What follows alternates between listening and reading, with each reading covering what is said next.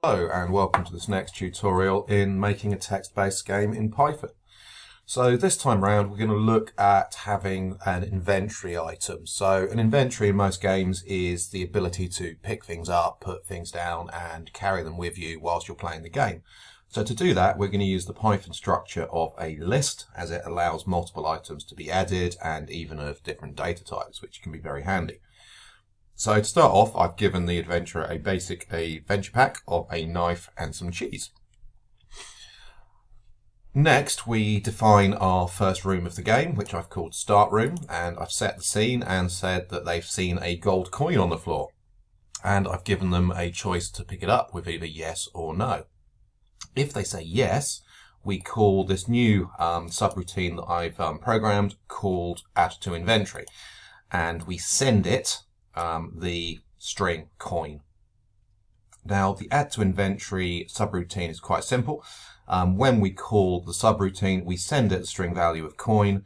It gets picked up in the parameter item, and then we can go the name of the list, which in our case is inventory, so these have to be the same. Um, and we use dot append, and that basically will add whatever item is passed into the subroutine into our inventory. So in other words, they will now have a gold coin in their inventory as well. So depending on what they choose, we then go to the second room because you know this is not indented inside the else so this will then execute whether they've chosen to add it to the inventory or not.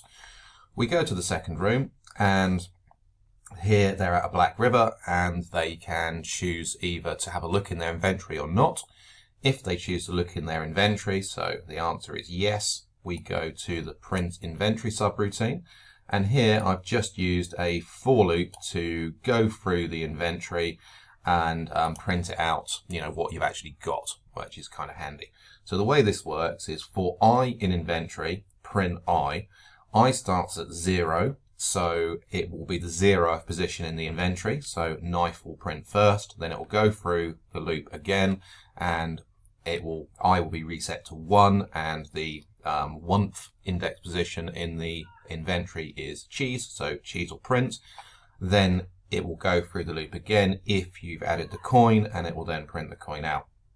Then I take them back to the um, subroutine second room again. So if they decide not to have another look in their inventory, they'll carry on and I've got an if else check here and I'll say if the string coin is not in the inventory, so if they don't have the coin added to the list we've created up here, um, print the ferryman refuses you passage, which is fair dues, you haven't paid him. Um, else it will print that the ferryman takes a coin and invites you to board the ferry. And that is the end of this very small adventure game.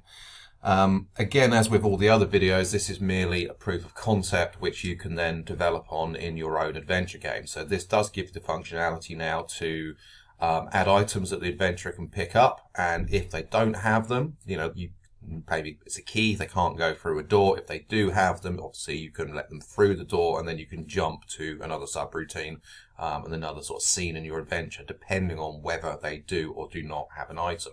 Um, in a following video, I'll also show you how to remove items from the list, from the inventory. Um, so again, you know, if they've given the coin away, then, you know, you need to take that obviously out of the inventory because they don't have it anymore. Okay, thanks for watching and I'll catch up with you next time.